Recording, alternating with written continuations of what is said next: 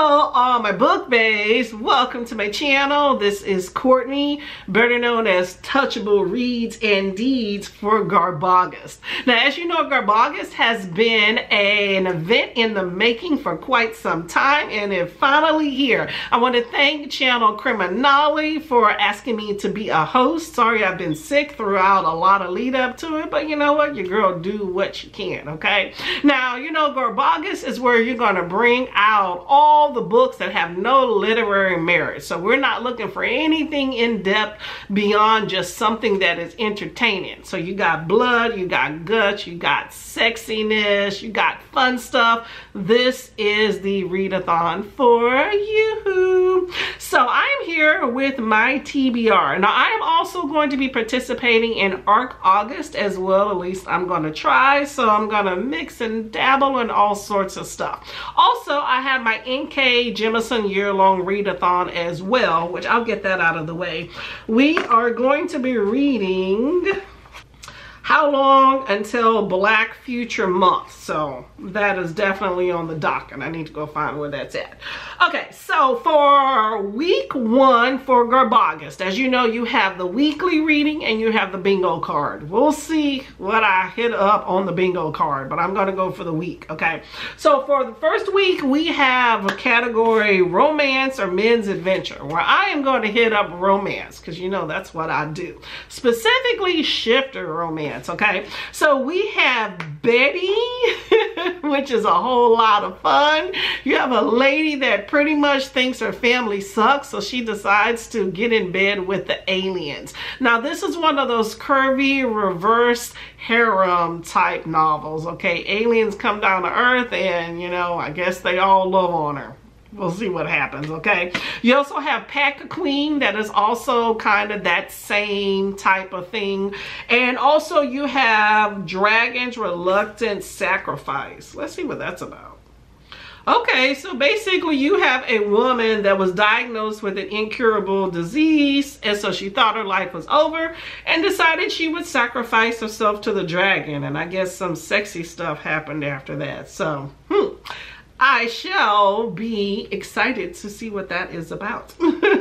okay, so that's week one. So week two, paperbacks from hell. Okay, so I got this big bad boy from my library here, and I have not figured out exactly what I am going to read out of here. So paperbacks from hell is basically a series of twisted 70s, 80s horror fiction. Okay, so this big old book here basically talks about a whole bunch of scary books. So I just got to figure out which one in here I'm going to read up on. So we'll see which one later, okay? Um, let's see, week three, books by famous people or movie novelizations. Now, you know I love good memoirs, so there's a whole slew I can choose from that. So what I did decide to do is mix and match. We'll see what I get to. So I found this graphic novel, Sandcastle, at the library, and apparently that movie Old, where the people go to the island and they start rapidly aging, that apparently is based off of this book. So we'll see what's up. And then I found this bad boy, B-R-Z-R-K-R. How you pronounce that, you figure it out. There's volume one and volume two. Apparently this is a Keanu Reeves graphic novel. Who knew, right? Um, basically, you have a half mortal, half god, cursed and compelled to violence. So he basically takes on crazy missions of violence that the government does not deem other people are fit to take on because they're so dangerous. And he is desiring to find the truth about his blood-soaked existence and how to end it. So we'll see what this is about. I got two volumes. I don't know if there's any more. We'll try to figure those out.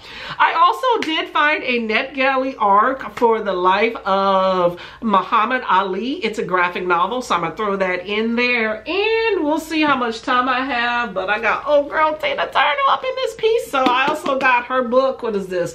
My Love Story as well. Okay. If you're interested in celebrity memoirs or biographies, I have a a recent vlog that I did that talks about 28 black memoirs, biographies. Check it out. I'm going to link that below as well. Okay. And let's see, week four is anything goes. Okay, I'm still piecemealing some stuff together, but I will say I'm going to be reading a NetGalley arc called A Season of Monstrous Conceptions. Apparently there's some satanic activity and I guess babies are being born in some unnatural sense. That's about all I know.